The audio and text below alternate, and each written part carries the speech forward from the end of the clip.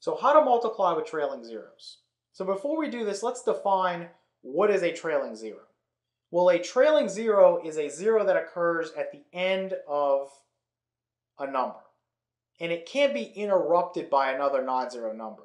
So for example, let's say you have something like 310,000. Okay, well, this is a trailing zero, this is a trailing zero, this is a trailing zero, and this is a trailing zero. All these zeros occur at the end of the number, and they're not interrupted by a non-zero digit. But let's say I had something like that number right there. This obviously isn't a trailing zero, and this obviously wouldn't be a trailing zero either.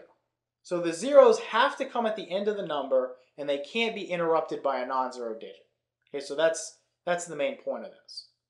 Okay, so when you multiply with trailing zeros, the first step is to count the total number of trailing zeros between all of the factors. Okay, so just go through and count how many you have. Step number two, you want to delete all trailing zeros and multiply the newly formed numbers. And then step three, you attach the number of zeros counted in step one to the right of the product in step two. So at first when you do this, you'll have to write down each step and go through it. But I think after maybe 10 or 15 examples, you'll be able to do it in your head. This really makes multiplication pretty easy. So let's go through and look at two quick examples. Okay, for example two, the objective is to find each product. And then for part one here, we have 500,000 times 250. All right, so this is a perfect example of where this would save you some time.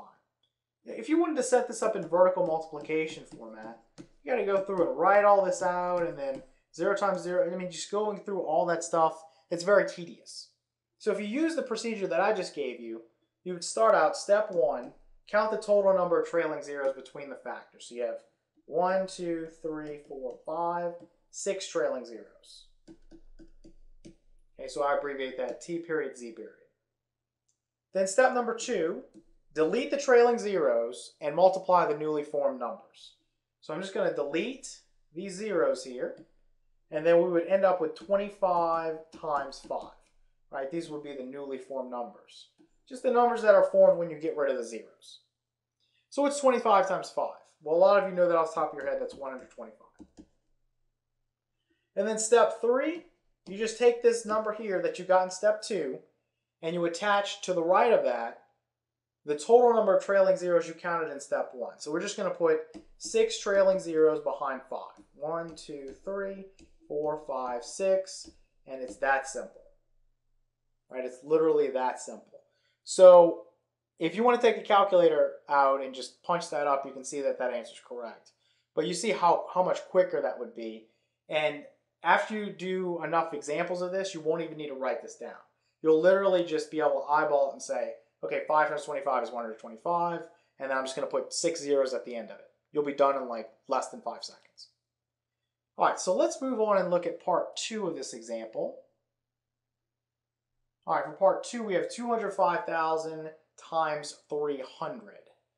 Okay, so this one's a little bit tougher because 205 times 3, a lot of you probably won't be able to do that in your head yet. But as we move on, you will be able to.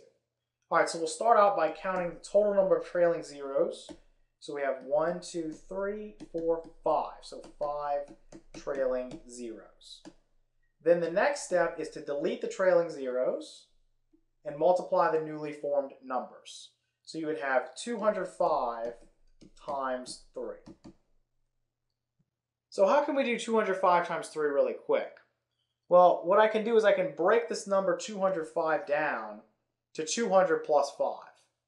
And you're going to learn later on that there's this property called the distributive property that allows us to multiply 3 times 205 by breaking this down into 3 times 200 plus 3 times 5.